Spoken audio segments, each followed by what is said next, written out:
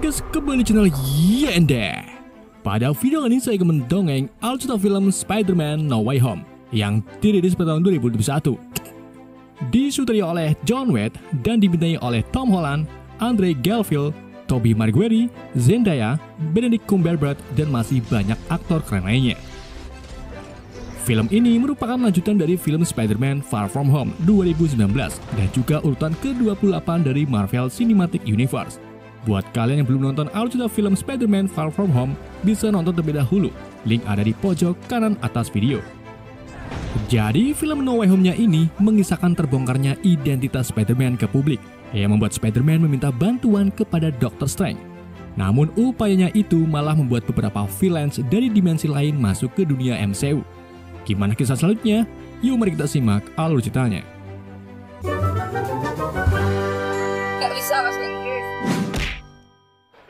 Musibah berawal saat J. Jonah Jameson dari Daily Bookly mengungkapkan identitas Spider-Man lewat video terakhir Quentin Beck aka Mysterio di ending film Far From Home. Video tersebut, Mysterio menyebut kalau Spider-Man adalah Peter Parker. Jonah yang merupakan penggila viral menggiring opini dengan mengatakan kalau Spider-Man lah pelaku di balik kematian Mysterio dan juga kekacauan elemental di London. Padahal sebenarnya kematian Mysterio disebabkan oleh pelurunya sendiri saat ia mencoba membunuh Peter. Peter yang pada saat itu sedang mengajak Michael Jonas jalan-jalan di New York pun segera membawa MJ pergi dari kerumunan. Keduanya bersembunyi di apartemen Peter yang kebetulan sekali ada Happy Hogan sedang ngapelin Bibi Mai. Beberapa saat kemudian, apartemen mereka dikepung oleh Departemen of Damage Control. Peter menutup semua jendela dan memberitahu Happy kalau identitasnya telah terbongkar setelah video Mysterio viral.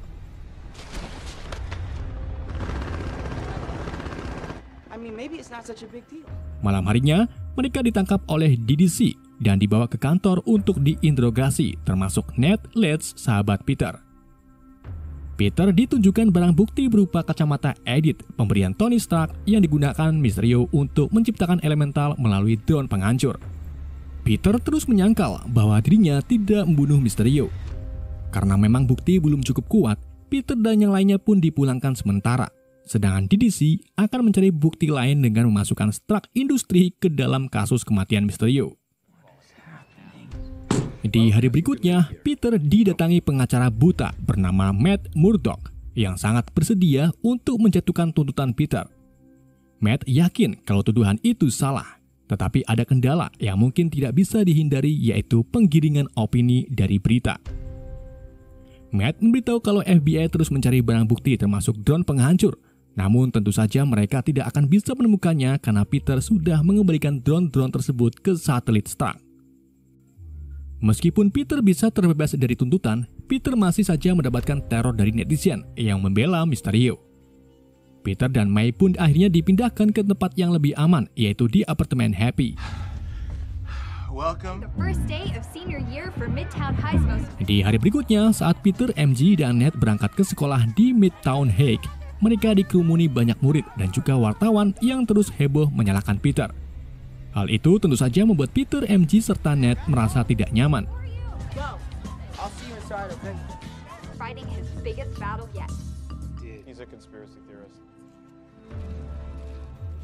Saat jam istirahat, ketiganya nengkreng di atap sekolahan untuk membahas semester akhir.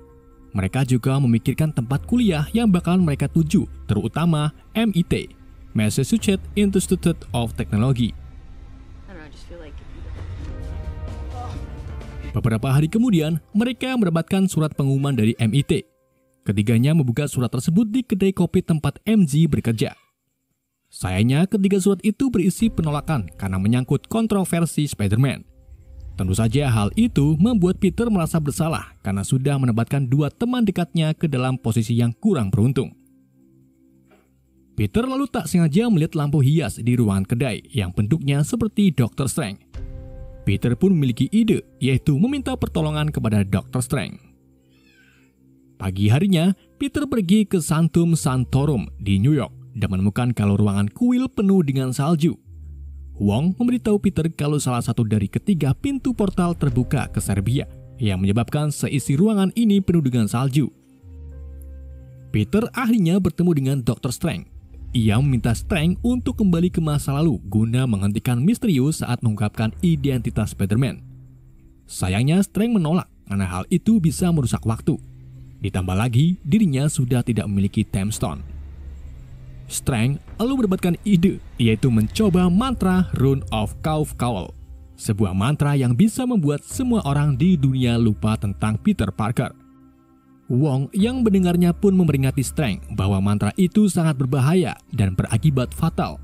Tetapi Strang menghiraukannya sambil membawa Peter ke ruangan Santum. Strang mulai membacakan mantra dengan diawali kalimat semua orang di seluruh dunia yang tahu bahwa Spider-Man adalah Peter Parker bakalan lupa. Sayangnya di tengah pembacaan mantra, Peter terus-terusan meminta Strang untuk mengubah mantranya agar MZ, Ned, Mai, dan Happy tidak lupa dengan Peter. Hal itu membuat Strang tidak fokus yang mengakibatkan mantranya tidak stabil.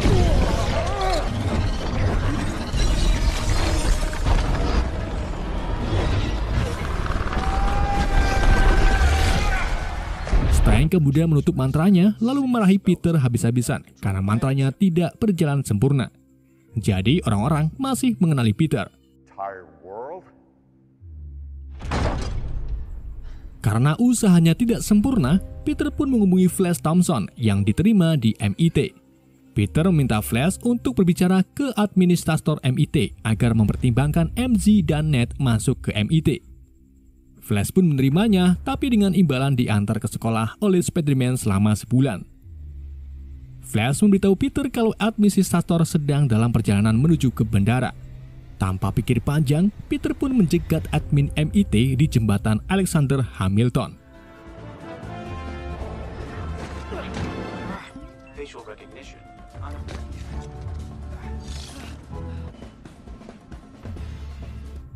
Setelah bertemu, Peter meminta agar admin mempertimbangkan MJ dan Ned.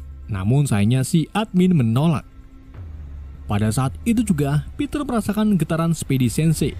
Artinya bahaya sedang mendekat. Dan benar saja, tiba-tiba semua orang panik bahagia yang kemudian disusul dengan kemunculan Dr. Otto Octavian, villain dari Spider-Man 2 versi Sam Raimi. Peter pun segera memakai setelan Spider-Man nanoteknologinya untuk bersiaga. Ketika Otto melihat Spider-Man, ia langsung menanyakan di mana mesin berkekuatan mataharinya, yaitu reaktor fusi. Tentu saja Peter tak tahu. Otto lalu memulai pertarungan dengan melempari mobil ke arah Peter.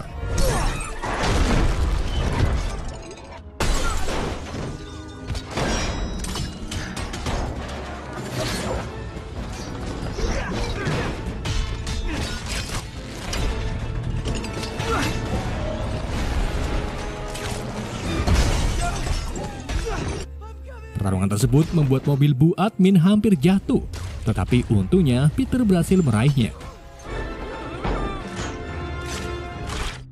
Peter akhirnya tertangkap oleh Otto, di mana Otto ini mengambil secuil kostum nanoteknologi di dada Peter, kemudian menyerapnya ke empat tentakel. Ketika Otto hendak menusuk dada Peter, Peter langsung memindahkan topengnya ke dada yang membuat tusukan Otto tak mempan. Kini, Otto melihat wajah Peter yang sudah jelas dia bukan Peter yang dimaksud. Peter lalu mengambil alih sistem nano di tentakel Otto, kemudian meletakkan Bu Admin kembali ke jembatan. Merasa hutang nyawa dengan Peter, Bu Admin pun bersedia membantu Peter, MG, dan Ned agar masuk ke MIT. Di waktu yang sama, suara ngakak terdengar dengan dibarengi bom labu serta kemunculan Grand Goblin, villain dari Spider-Man 1 Sam Raimi. Saat Goblin hendak menyerang Peter, Strang langsung memindahkan Otto dan Peter ke ruangan bawah tanah Santum. Otto dikurung ke dalam sel bersama The Lizard yang merupakan villain dari The Amazing Spider-Man 1. Strang menjelaskan kepada Peter bahwa mantra gagal sebelumnya bukan Tune of Kaul, melainkan mantra membuka multiverse. Sehingga orang-orang di dalam semesta yang tahu Spider-Man adalah Peter Parker masuk ke dunia Peter saat ini. Untuk mencegah bertambahnya kekacauan, Strang menyuruh Peter untuk menangkap orang-orang yang datang dari alam semesta lain menggunakan sling ring buatan Strang. Di mana sling ring ini mampu memindahkan orang-orang itu ke dalam sel santum. Namun karena Peter tak mau bekerja sendiri, ia pun minta Strange untuk mengizinkan MG dan Ned ikut ke dalam misi ini. MG dan Ned lalu dibawa ke ruang bawah tanah dan mulai melakukan tugasnya dengan mencari kekacauan di internet.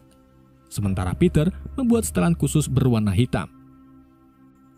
Ned akhirnya menemukan informasi kalau ada gangguan listrik di luar kota. Peter pun segera pergi ke tempat yang dimaksud. Norman Osborn Why? to fight a ghost.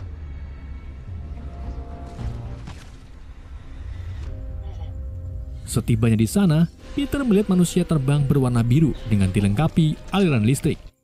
Manusia tersebut adalah Max Dillon atau Electro Villain dari The Amazing Spider-Man 2. Peter mencoba menembakkan sling ringnya ke arah Max, tetapi tembakan itu mantul dan mengenai sebuah pohon, sehingga pohon tersebutlah yang masuk ke dalam sel.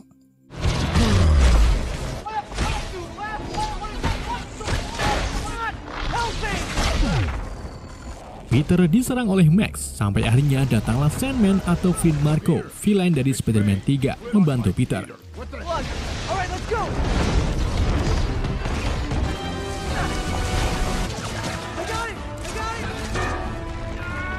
Keduanya akhirnya berhasil mengalahkan Max dengan cara menghancurkan aliran listrik pada tower. Different Peter. Weird. Peter menjelaskan kepada Marco dan Max bahwa mereka dari multiverse lain. Setelah itu, Peter sengaja mengirim keduanya ke sel Samtum. Ah? Wasn't crazy, Max. Di tempat lain, Goblin atau Norman Osborn terlihat sedang menyembunyikan glider terbangnya di gang sempit. Ia lalu mendapatkan hasutan keji dari sisi Grand Goblin yang menyuruhnya untuk tetap berbuat jahat. Norman pun mencoba menyingkirkan hasutan dengan menghancurkan topengnya. Kemudian pergi ke Fez, organisasi amal tempat kerja Bibi Mai. Peter mendapatkan telepon dari Bibi Mai bahwa ada pria ngakak dari dunia lain ingin bertemu Peter. Peter pun segera ke sana dengan pecicilan. Setelah bertemu, Norman kebingungan karena Peter bukan Spider-Man yang dimaksud. Norman mulai mengoceh tentang keadaannya yang sekarang kehilangan putranya yaitu Harry Osborn. Dan ditambah lagi, dirinya sering dikendalikan oleh hasutan jahat.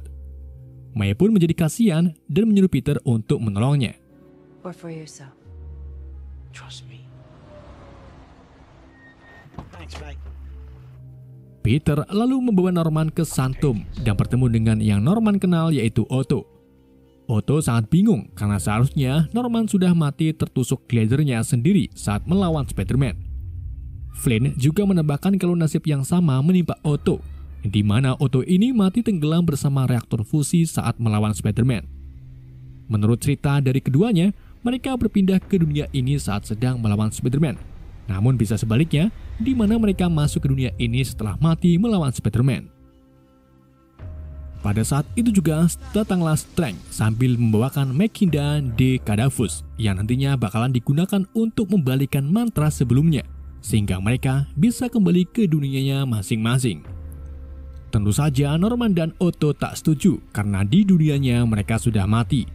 Begitu juga dengan Peter yang berpikir kalau penjahat-penjahat ini bisa berubah lebih baik lagi dan membiarkan mereka yang sudah mati di dunianya untuk tetap tinggal di sini. Strange pun menghiraukannya karena hal itu pasti ada konsekuensinya. Saat Strange hendak membalikan mantra, Peter dengan sengaja mengambil Makinda lalu pergi melarikan diri. Strange mengejar Peter ke jalanan dan memukul dadanya sampai memisahkan roh Peter dari tubuhnya. Namun meskipun begitu, refleks Peter berhasil menghindari Strange yang mencoba merebut Makinda. Peter kemudian kembali ke dalam tubuhnya lalu melarikan diri namun Strange berhasil menangkapnya dengan Cloak of Leviathan. Setelah itu masukkan Peter ke dalam dimensi cermin.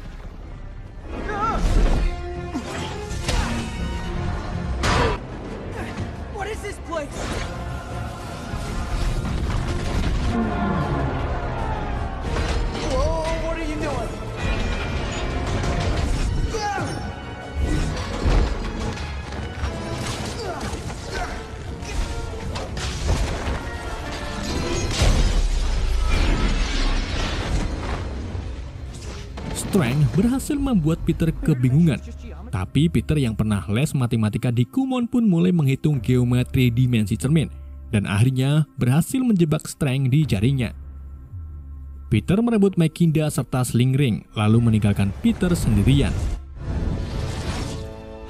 Setibanya di Sankum, Peter berniat untuk menyembuhkan dan memperbaiki para musuh dari multiverse lain sehingga saat kembali ke dunia mereka masing-masing, mereka tak harus lagi melawan Spider-Man.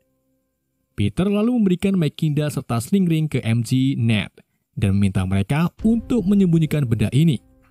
Jika ada bahaya besar terjadi, maka MG harus menekan tombol di Makindanya. Who's coming with me? I'm in. Peter kemudian membawa para musuh ke apartemen Happy, sedang Lizard tetap berada di dalam truk. Peter menunjukkan salah satu fasilitas truk industri, yaitu fabrikator, sebuah mesin yang bisa membuat teknologi apa pun termasuk kostum Spider-Man. Max sangat tertarik dengan arc reaktor yang tentu saja bisa menjadi daya kekuatan Max.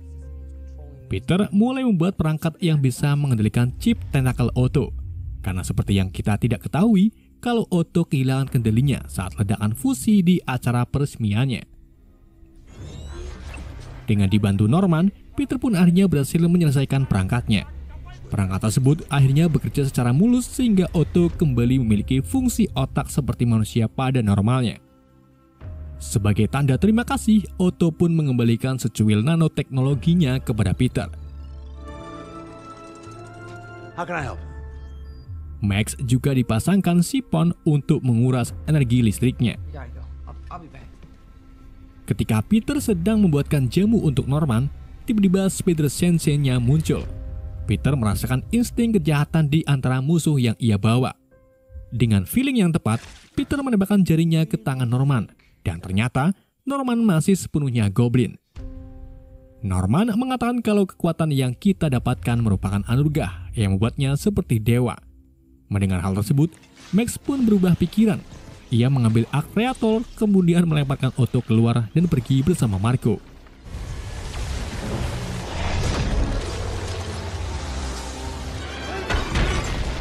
Di bawah apartemen, Jonah ternyata sudah standby dan memulai merekam kekacauan sambil mengatakan, "Di mana ada bahaya, di situ ada saya."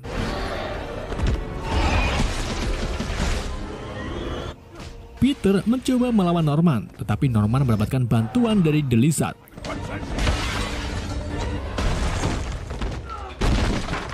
Peter terus melawan Norman dengan beberapa pukulan, tetapi Norman malah ngakak dan membanting Peter hingga ke lantai dasar. Bibi Mai segera menyuntikkan ramuan penyembuh ke tubuh Norman, tetapi sayangnya hal itu tak berhasil. Di waktu yang sama, glider Goblin muncul dan langsung menghantam tubuh Mai. Setelah itu, Norman pergi sambil melemparkan bom labu ke arah Mai, tetapi berhasil ditangkis oleh Peter.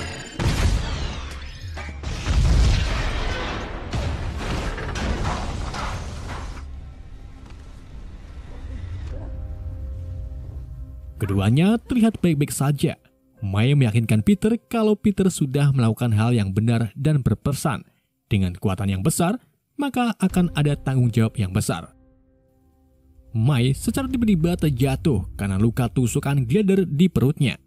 Mai akhirnya meninggal yang tentu saja membuat Peter terpukul. Di waktu yang sama, Happy datang.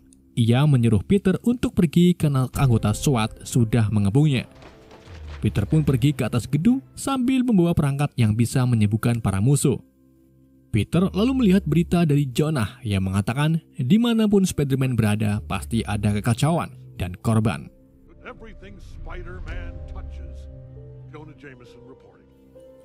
Di sisi lain, tepatnya di rumah bibinya Ned, MG mulai khawatir dengan keadaan Peter dan berniat untuk menekan tombol Makinda. Ned yang memakai sling ring mencoba menenangkan MG sambil memutarkan tangannya dan tak sengaja memunculkan percikan portal. MG pun minta Ned untuk melakukannya lagi dengan menyebut aku hanya ingin melihat Peter Parker lagi. Setelah portal terbuka, muncullah sosok Spider-Man. Spider-Man tersebut membuka topengnya dan ternyata dia bukan Peter yang Ned maksud. Si Spider-Man menyebut bahwa dirinya memang Peter Parker, tetapi dari dunia lain. Ned kembali membuka portal dan berharap bisa menemukan Peter Parker yang dimaksud. Namun lagi-lagi yang muncul Peter Parker yang lain yang pernah melawan Goblin, Otto, dan Marco. Toby dan Andre lalu mengungkapkan bahwa perasaannya terganggu, di mana perasaan tersebut mengarah ke Peter Parker dari dunia ini yang sangat membutuhkan bantuannya. Toby meminta MG untuk memberitahu lokasi Peter yang sering dia tempati saat merenung. MG pun membawa mereka ke atas gedung Midtown dan menemukan Peter sedang menangis.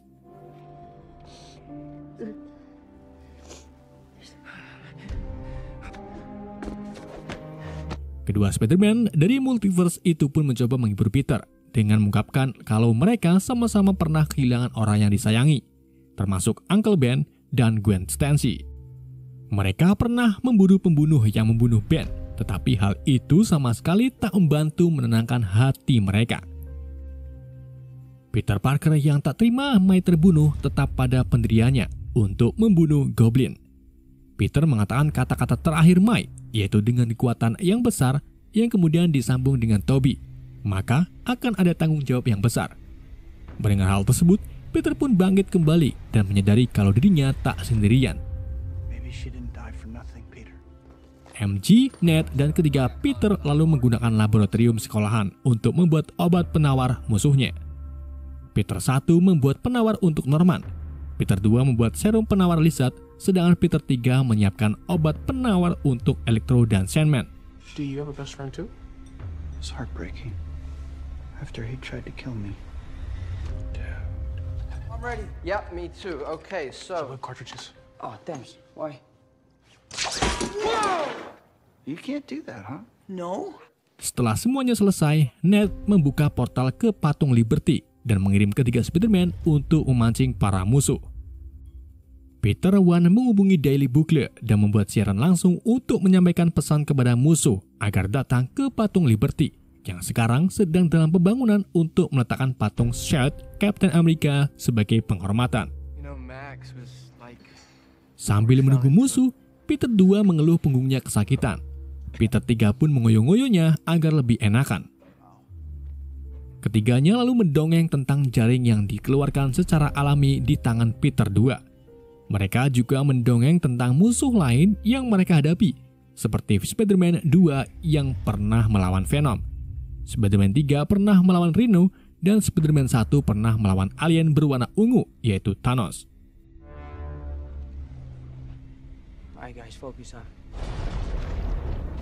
Di waktu yang sama, muncullah Electro. Ketiganya mulai menghadapi Electro dan memberikan Mekindanya kepada MG. MG meminta Ned untuk menutup portalnya, tetapi Ned tak bisa. Di saat itu juga muncullah Lizard dan Sandman. Ketika Spider-Man mulai kewalahan karena pertarungan sangat semrawut.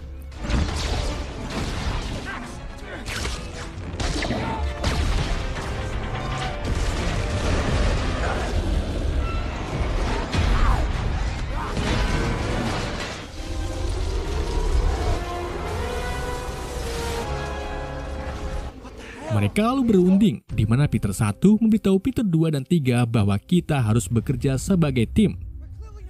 Peter 1 mengatakan kalau dirinya bekerja dengan Avenger. Keduanya pun bingung, karena di dunianya tidak ada Avenger. Ketiga Peter akhirnya bekerja sama dengan menyembuhkan Sandman terlebih dahulu.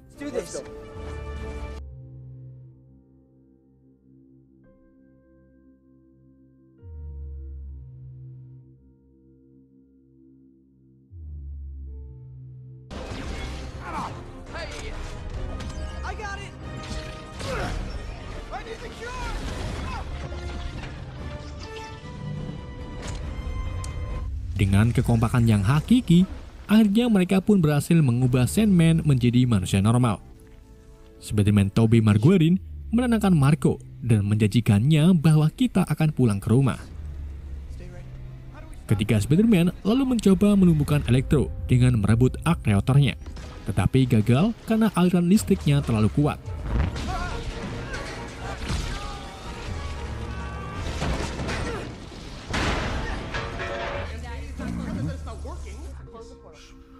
Peter satu kemudian mengejar Lizard yang mencoba merebut Mekinda dari MG. Sedangkan Peter 2 dan 3 dihadapkan dengan Dr. Otto. Namun Otto berpihak kepada Spider-Man dengan merebut ak reaktor Max lalu menggantinya dengan Sipon.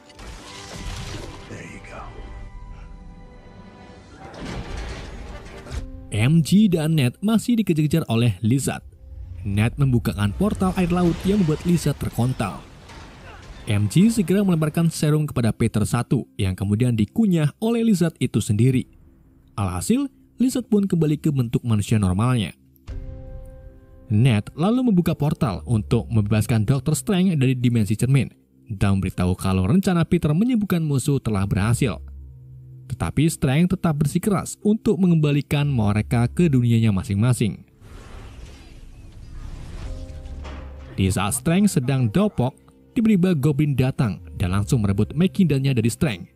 Tetapi untungnya berhasil dihentikan oleh Otto. Ketika Mekinda kembali ke tangan Strange, ia melihat bom labu di dalam Mekinda yang secara cepat meledak dan melepaskan mantranya. Alhasil, Shield Captain America pun runtuh, membuat semuanya terjatuh termasuk MG. Peter satu mencoba menyelamatkan MG, tetapi ia ditabrak oleh Goblin. Peter tiga segera mengambil tindakan dengan melompat dan berhasil menyelamatkan MG. Peter tiga sangat sedih karena walaupun ia tak bisa menyelamatkan Gwen, namun setidaknya ia berhasil menyelamatkan MG milik Peter 1. Dr. Strange dibuat kena mental ketika efek ledakan mantranya membuat multiverse lain mulai terbuka, di mana di dalamnya sudah ada villain Spider-Man versi yang lain. Strange lalu mengambil tindakan sementara dengan menutup dimensi-dimensi tersebat. Di udara, Peter satu meledakkan bom labu milik Goblin yang membuat keduanya jatuh tepat di sulit Captain America. Keduanya lalu berduel satu sama lain.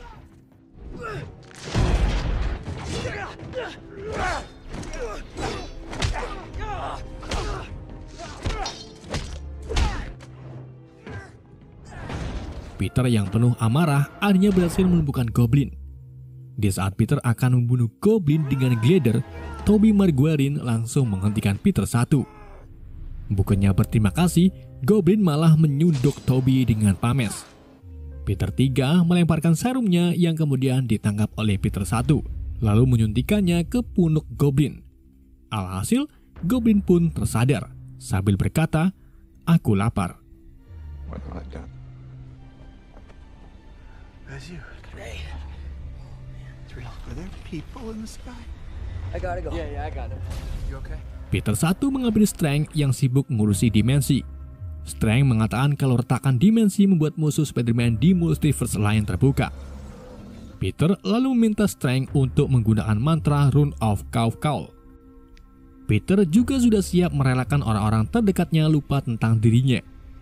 Sebelum Strange membacakan mantranya, Peter berpamitan dengan Strange, kemudian berpamitan dengan dua Spider-Man. Uh, Peter mendekati MG dan Ned sambil memberitahu bahwa mereka akan lupa tentang diri dirinya. Tetapi jangan cemas, karena Peter akan menemui MG dan Ned untuk menceritakan semuanya, sehingga keduanya bisa mengingat tentang Peter lagi.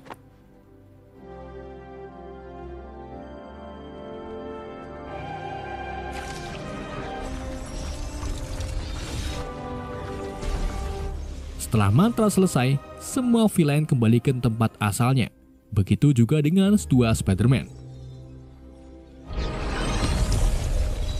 Beberapa minggu kemudian, Jonah masih saja menyalahkan Spider-Man tentang kekacauan di London dan juga di Patung Liberty.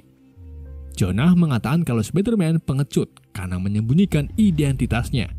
Dari sini kita sudah tahu bahwa mantranya telah berhasil. Tetapi semua orang masih tahu tentang Spider-Man, karena yang dilupakan Peter Parker bukanlah Spider-Man. Lalu bagaimana nasib Peter 2 dan 3? Apakah mereka kena efeknya atau bahkan semua Peter Parker di seluruh alam semesta bernasib sama dengan Peter 1? Peter kemudian mengunjungi kedai kopi tempat MG bekerja. Peter melihat MG dan Ned masih berteman baik dan juga berhasil keterima di MIT. Keduanya sama sekali tak mengenali Peter.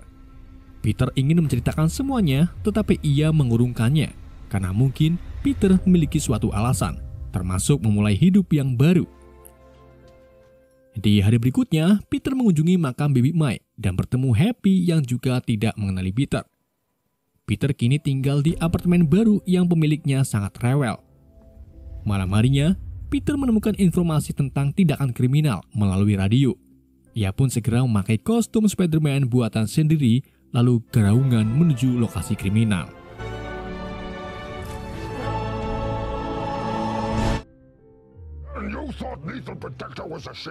Di adegan kredit tengah, kita diperlihatkan Eddie Brock dan Venom sedang berada di bar. Sebelumnya, saya ingatkan kembali bahwa di adegan akhir kredit film Venom Let's Be Carnage, Eddie dan Venom tertarik oleh mantra strength yang membuatnya berpindah ke dunia Peter Parker versi Tom Holland. Ia lalu melihat berita J. Jonah yang menyebut kalau Spider-Man adalah Peter Parker. Kita kembali ke kredit No Way Home. Eddie dan Venom yang sedang medang tiba-tiba tertarik kembali ke dunia asalnya, yang artinya Venom versi Eddie Brock kemungkinan tidak akan hadir di Spider-Man versi Tom Holland. Kayaknya sih. Kemudian di adegan pasca kredit, kita diperlihatkan trailer film Doctor Strange in the Multiverse of Madness yang menunjukkan dampak retakan multiverse dan harus bekerjasama dengan Wong, Wanda, dan Amerika Chavez untuk memperbaiki keadaan. Mereka juga harus melawan Baron Mordo serta varian Galen Strength lain yang disebut Strength Supreme.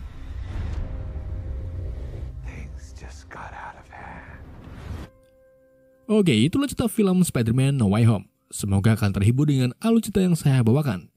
Pesan yang tidak bisa kita ambil dari film ini, masa kecil kalian pasti akan bahagia jika pernah makan buah karsem.